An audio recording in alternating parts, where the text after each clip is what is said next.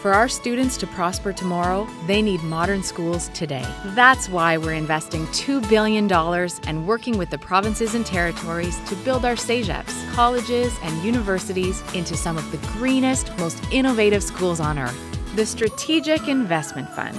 Just another way we're building a prosperous and innovative Canada.